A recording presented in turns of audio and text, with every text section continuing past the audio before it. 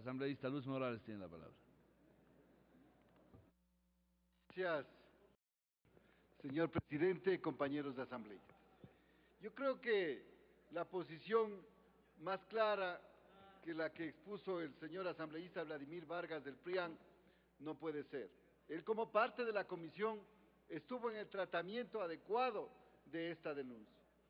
El título justamente dice protección recíproca de inversiones.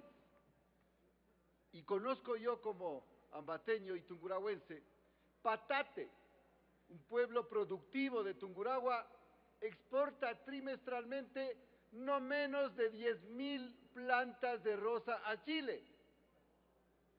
De igual manera, existen cientos de ecuatorianos que ejercen la profesión médica, que tienen centros médicos, clínicas e inversiones en ese país. ¿Quién puede lo más, puede lo menos, compañeros presidente y compañeros asambleístas?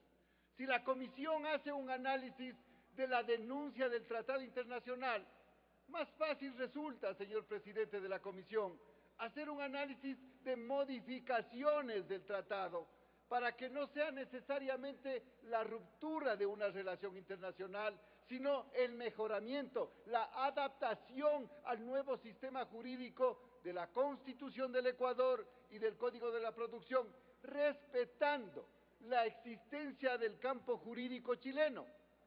Porque decía Vladimir Vargas, no es posible que solo adaptemos a nuestro sistema en son de la soberanía. Esta es una situación bilateral en donde intervienen dos estados. El Estado chileno, que tiene acuerdos económicos de negociaciones con la Comunidad Económica Europea, que tiene con los países del norte y obviamente con los países del sur de América. Es un país que económicamente ha crecido y hay que reconocer, ha tenido éxito social, éxito comercial y hasta de cierta manera en la región es uno de los más fuertes que ha producido vino de exportación, ha producido cobre, ha producido petróleo, es decir, una gran cantidad de insumos que a nivel internacional le genera producción.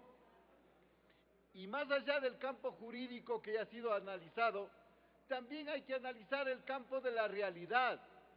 Colombia, 30 mil millones de inversión extranjera en su país, pese a la existencia de la guerrilla y de los riesgos del narcotráfico. Perú, 25 mil millones de dólares de inversión extranjera, pese al momento político de campaña electoral que está en los últimos tiempos. Ecuador, apenas 700 millones de dólares de inversión.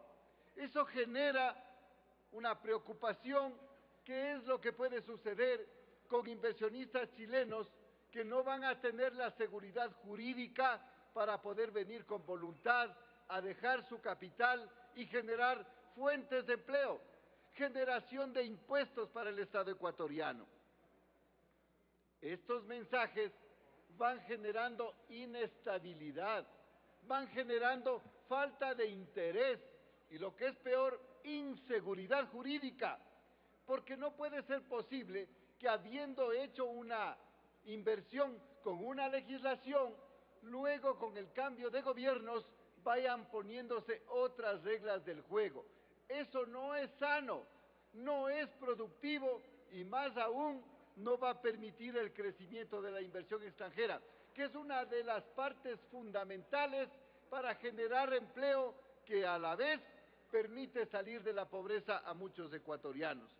Por lo expuesto, señor presidente, el al menos no se va a sumar a esta propuesta de romper este tratado internacional con el término de denuncia, sino de pedir a la Comisión que simplemente modifique, adapte al nuevo sistema jurídico ecuatoriano para que podamos seguir protegiendo. No nuestra preocupación es únicamente al extranjero que viene al país, sino, como decíamos, proteger al ecuatoriano en el exterior, que las pocas formas de exportación agrícola, como había mencionado de las flores, no se vayan a perder, no vaya a generar conflictos económicos internos que pueden grabar más aún a la pobreza de los ecuatorianos. Patate es un, es un sector eminentemente agrícola, tiene las mandarinas, tiene las rosas, tiene las claudias, es decir, una gran producción y exporta gran parte de ello.